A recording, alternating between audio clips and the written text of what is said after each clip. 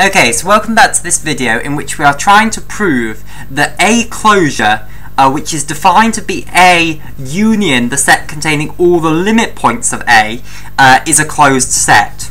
Is a closed set. So firstly, uh, I said that the way we were going to prove this was to prove that it must that A closure contains all its limit points. Now, uh, uh, the first thing I started by proving was that we only need to consider uh, that uh, the limit points of L basically because uh, if if um, if y is a limit point of A is a limit point of A of A uh, then uh, y will be an element of L and therefore y will be an element of A closure. So we only need to consider uh, elements y of the uh, bigger metric space x, which are limit points. y is a limit point for L. So we need to make sure that these limit points of the set L are also in A bar. So to make sure that they're in A bar, what we need to prove is um, we need really to prove that they are either in A or L.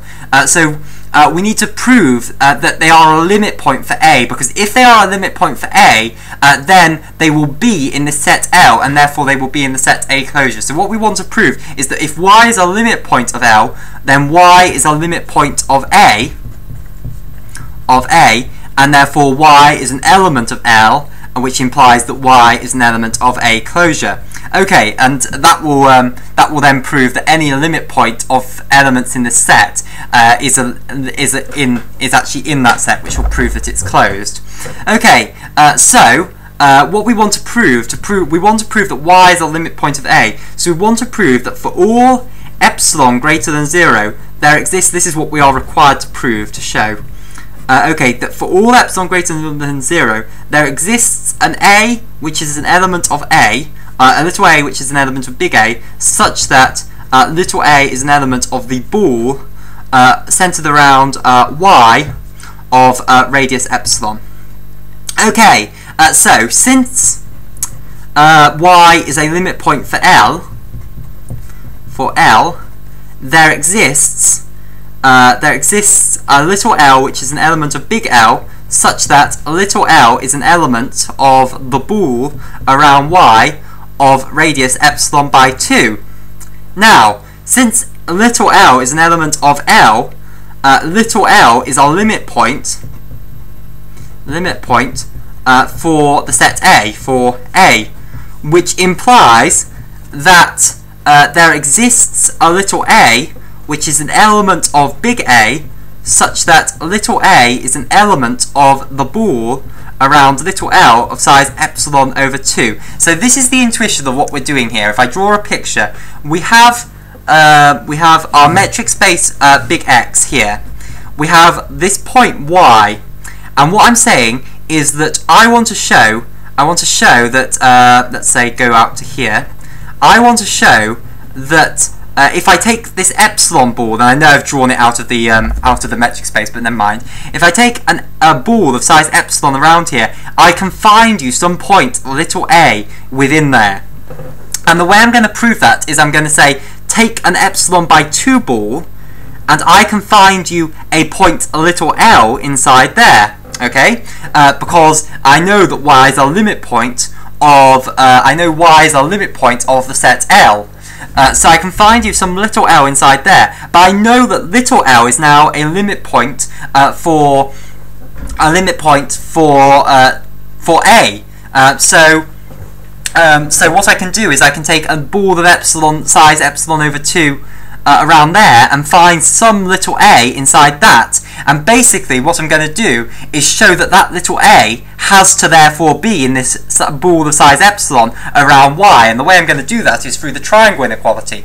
Okay, so now um, I want to show a is an element of the ball around y of size epsilon, all I need to show is that the distance between y and a is less than epsilon.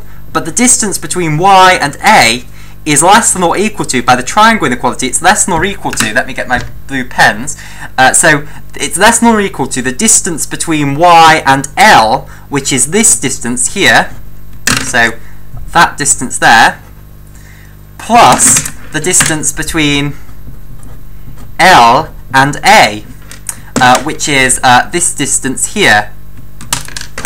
So I'll get this pen here. Okay? And the distance between Y and L, uh, we know, uh, if I just move this up, we know that the distance between y and L is less than epsilon over 2 since uh, y, sorry, since L uh, is an element of the ball, uh, the open ball around the point y of size epsilon over 2. So that implies that the distance between them is less than epsilon over 2. Similarly, we know that the distance between L and A is less than epsilon over 2, uh, since A is an element of the ball around L of size epsilon over 2. So that implies that its distance is less than epsilon over 2. So that implies that the distance between y and L plus the distance between L and A is less than epsilon. So, uh, by transitivity then, uh, if this is less than this, and this is less than this, it implies that this is less than epsilon. So we now know that the distance between y and a is less than epsilon. So that implies that a is an element of the ball, the open ball around y of size epsilon. So whatever epsilon you give me, I can find you an, ele uh, an element of a um, an, an, element little a of big A, which is within that ball, which implies y is our limit point of A.